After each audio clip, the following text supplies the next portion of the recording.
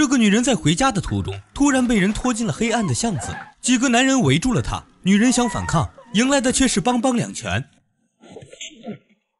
等她失去意识，这伙畜生竟然脱掉女人的牛仔裤，细嗅上面的味道。接下来这段不好看，咱们跳过。女人拖着满身伤痕的身体来报案，她把犯人的毛发递给警察，这是她抓住的唯一证据。警察却烦躁地挠了挠头，说检验太麻烦，不如算了吧。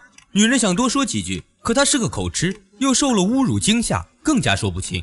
这时，警察看到她穿着紧身牛仔裤，很不屑地说道：“你穿成这样，难怪会被人盯上，说不定是故意勾引，现在又来诬告别人。”女人听不下去，直接收拾东西离开。没有几人知道，这个受尽委屈的女人曾是国家射击队队员，赢得过很多奖牌。她叫小美，因为一场车祸伤了身体，导致口吃，只能和闺蜜在纺织厂打工。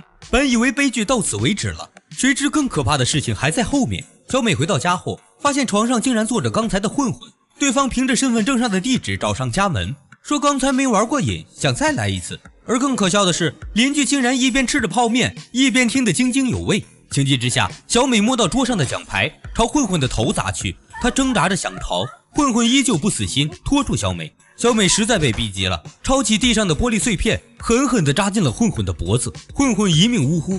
这时，一阵敲门声响起。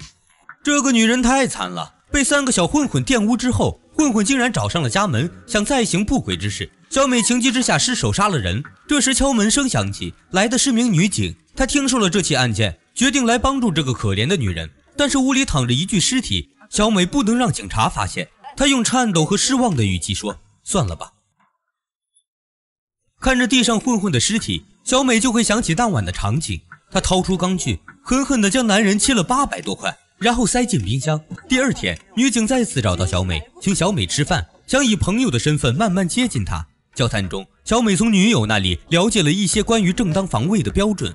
用女警的话说，韩国法律你能期待什么？晚上，小美准备把混混的尸体处理掉，谁知碰到了之前那个无良警察。警察得知女警插手这件案子，很不开心，想来调查一番。从邻居口中得知，昨晚小美家有男人，警察就以小美伪造强奸案为由，向她索要一大笔贿赂。拉扯中，小美的手提袋掉到地上，一只手露了出来，警察当场惊呆了。反应过来之后，立马对小美进行抓捕。小美拼命反抗，警察的枪在挣扎中掉落在地。小美摸到枪，瞄准警察，可警察还在叫嚣。他一步步逼近，小美咬牙扣动了扳机，打偏了。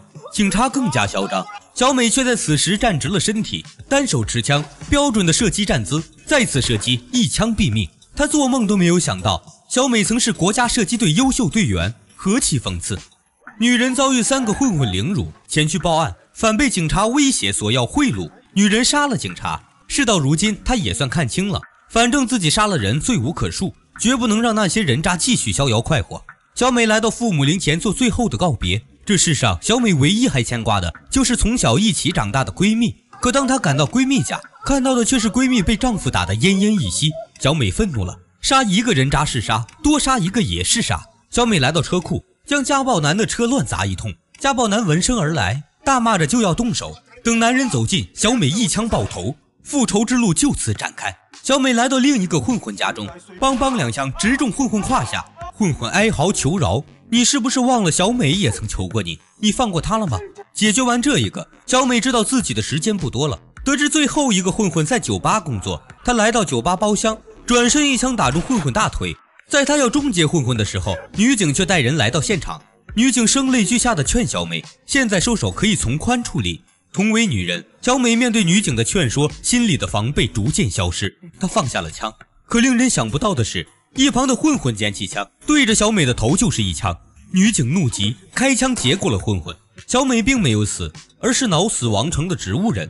但女警却拔了她的氧气罩，因为女警的妹妹身患绝症，急需器官移植。而小美和妹妹的匹配度正好合适。一名为国家拿过奖牌的射击队员，一个柔弱、善良、胆小的女孩，被凌辱、被无视、被威胁，被逼的用自己唯一的技能复仇，最后一线生机都要被人利用。这要是在我国，每一个运动健儿都是我们的骄傲和珍宝。棒子国真是可悲又可怕。